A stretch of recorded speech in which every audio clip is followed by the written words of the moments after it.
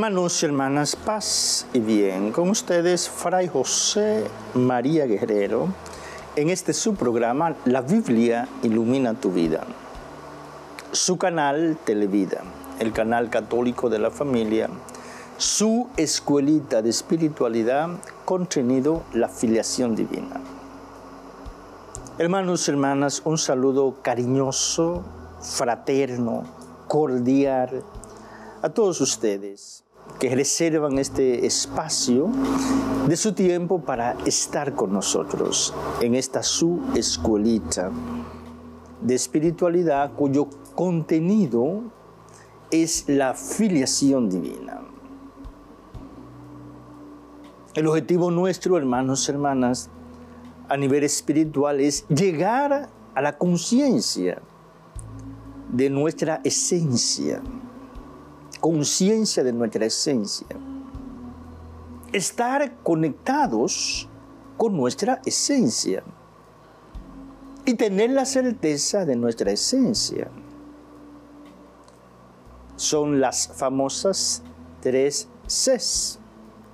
Tres Cs. La primera C, conexión, estar conectado. La segunda C, la conciencia. Y la tercera C, la certeza. Una vez que lleguemos a estas tres Cs, llegaremos, hermanos, hermana, a la iluminación, al despertar, al estado de santidad a este nivel real y verdaderamente, hermanos y hermanas, a este nivel superior de conciencia. Un nivel superior de conciencia. Estaremos realmente conectados con nuestra esencia, así como estamos conectados con nuestra existencia, existo, estoy vivo, tengo la conciencia de que existo, de que estoy vivo.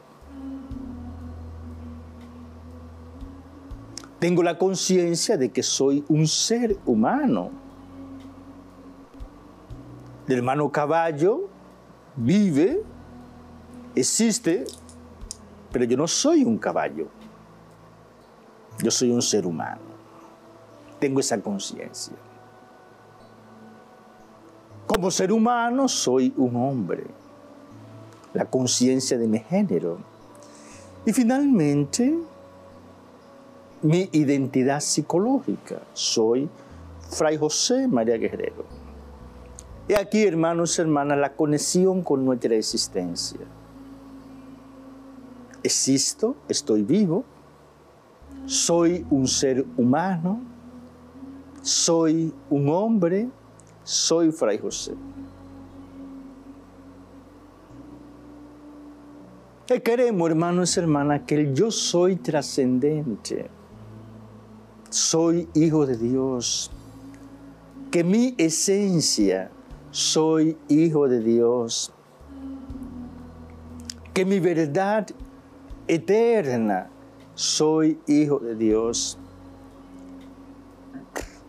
Que mi identidad sobrenatural, soy hijo de Dios. Esa verdad, hermanos hermanas, esa verdad determine totalmente mi existencia. La iluminación llega, hermanos hermanas, cuando la esencia se hace conciencia. La iluminación.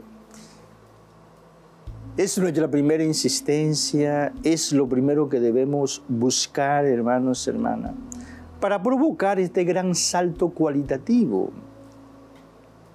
en el devenir de la historia, en el devenir de la humanidad, una gran revolución espiritual. Una gran revolución espiritual.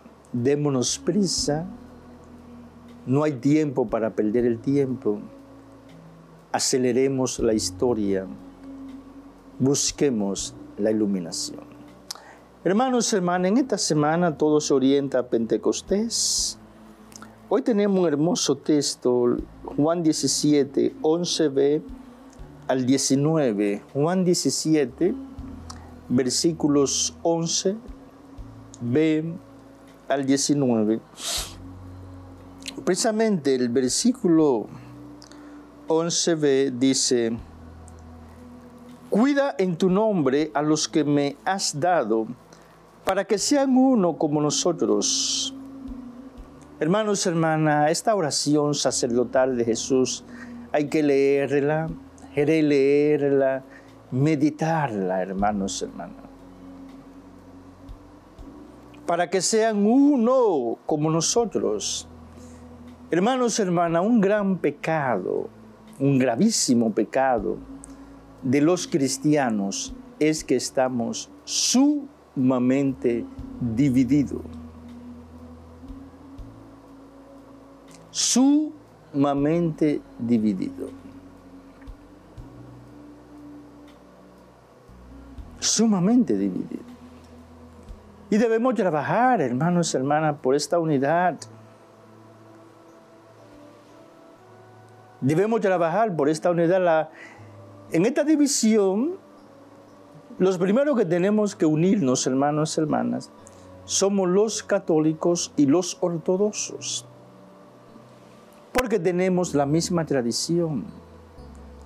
Tenemos los mismos sacramentos tenemos tantas cosas en común. Tenemos vida religiosa. Creemos firmísimamente en la presencia real. A ningún ortodoxo se le ocurre decir que eso es un símbolo, que, la, que el pan que se consagra es un símbolo que el vino, no, no, jamás lo dice, tampoco los católicos. Entonces primero vamos a buscar la unión con los ortodoxos, que nos unamos. Vivimos mil años, mil años de unidad. La unidad se fraccionó, se rompió en el 1057 entre Oriente y Occidente. 1057. Hay que retornar a esta unidad de mil años. Mil años. Entonces, hermanos y hermanas, vamos a buscar esta unidad, que sería realmente un gran paso para buscar la unidad de todos los cristianos, para que esa, esa diversidad que cada día crece más, cada vez que yo veo una iglesia evangélica con una casita, una iglesia evangélica con un nombre X, digo yo, ay, los reformadores, los reformadores, ¿cómo han, cómo han dividido la iglesia de Cristo? Y es una sola iglesia, una sola iglesia. Trabajemos, hermanos, hermanas, por esta unidad para que sean uno como nosotros. La unidad de la Trinidad es, es un absoluto imposible. La división de la Trinidad, una, unidad total. Y la iglesia debe ser un sacramento de unidad, que todos sean uno. Somos uno los cristianos, de nombre, pero no de la realidad adventista, testigos de Jehová, pentecostales, anglicanos, mormones, etcétera, etcétera, etcétera. Miles y miles de denominaciones cristianas. He aquí el gran pecado, hermanos, hermanas, de los cristianos. Hemos dividido la iglesia de Cristo y esta oración esta oración de Jesús no ha alcanzado la meta para que sean uno. esperemos que no tenga que llegar la parucía para que esta meta se cumpla. Trabajemos, hermanos, hermanas, por la unidad de la iglesia. Qué bello el verso 19, perdón, el 13. Y digo estas cosas en el mundo para que tengan en sí mismos mi alegría colmada. Hermanos, hermanas, el concepto, la palabra que más aparece en el tiempo de Pascua es la palabra alegría. La encontramos por doquier, en los evangelios, en las lecturas de los hechos de los apóstoles, el Apocalipsis de Juan, en, las coletas, en los prefacios, en las antífonas de misa, etcétera, etcétera. Y es lo que más aparece, hermanos, la palabra que más aparece en el tiempo de Pascua, la alegría. vivamos la alegría, hermanos, hermanas, la alegría de ser hijos de Dios, la alegría de la fraternidad, de sentirnos hermanos, la alegría de compartir el cuerpo de Cristo y su sangre preciosa que nos salva y nos redime. La alegría de la esperanza, estén siempre alegres. La alegría de ser hijos e hijas de Dios. Recordemos, hermanos, hermanas, que siempre decimos que el Hijo de Dios, la hija de Dios, danza, danza la vida en un éxtasis permanente de alegría al ritmo de la voluntad del Padre. Que el Espíritu Santo descienda sobre nosotros y nos dé el don de la alegría, el fruto de la alegría. Un fruto del Espíritu Santo, según Pablo, es la alegría. El primero, el amor. El segundo fruto, la alegría. Y el tercero, la paz. Adoremos a aquel que nos ha traído la alegría de los hijos y de las hijas de Dios. Señor mío y Dios mío, creo firmemente que estás presente en la hostia sagrada, en la plenitud de tu amor, en la plenitud de tu poder, en la plenitud de tu divinidad. Creo, en ti y te adoro.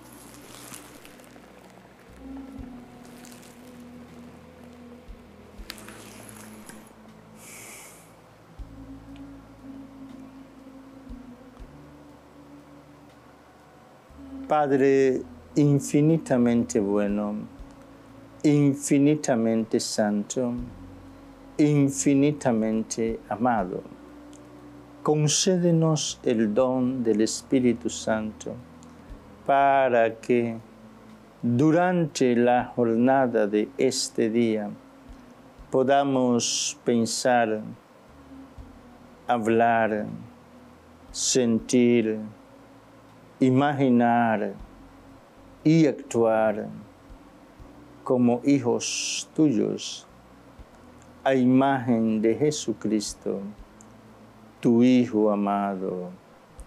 Amén. Amén. Silencio, intimidad, presencia, adoración.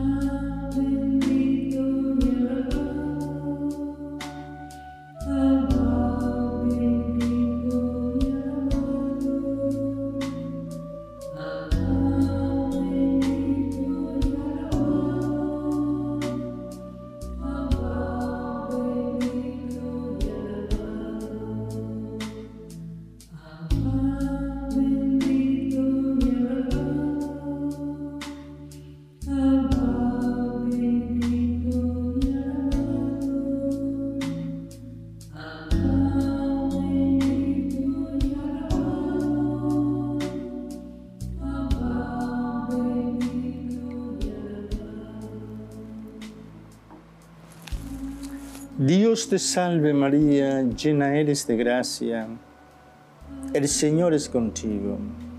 Bendita eres entre todas las mujeres, bendito es el fruto de tu vientre Jesús. Santa María, Madre de Dios, ruega por nosotros pecadores, ahora y en la hora de nuestra muerte. Amén. Gloria al Padre y al Hijo y al Espíritu Santo. Como era en el principio, ahora y siempre, por los siglos de los siglos. Amén. Amado, eterno y adorado Jesús, Hijo del Dios vivo, eres el buen samaritano que nunca pasa de largo ante una necesidad humana. Te suplicamos por la intercesión de María Santísima, de San José, que tú pongas en cada televidente, en cada miembro de su familia, que tú pongas en cada ser humano que habita el planeta Tierra el vino que tú sabes hace falta. Tú que vives y reinas por los siglos de los siglos. Amén. Jesús, en ti confío. Jesús, en ti confío. Jesús, en ti confío. Jesús, en ti confío. Jesús, en ti confío. Jesús, en ti confío. María Santísima, Virgen de la Altagracia, protectora del pueblo dominicano, ruega por nosotros. María Santísima, Nuestra Señora de las Mercedes, patrona del pueblo dominicano, intercede por nosotros.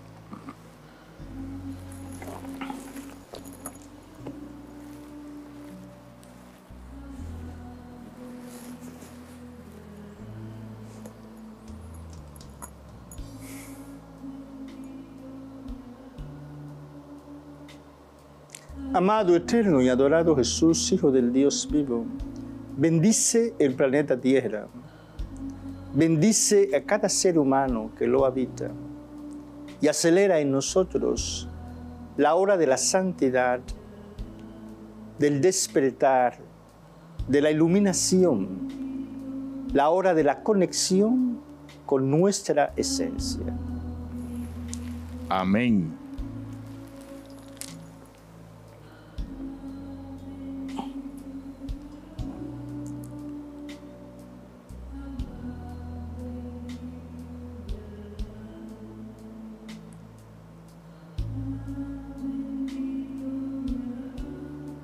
Bendice Jesús a nuestros enfermos, aquellos que tienen depresión,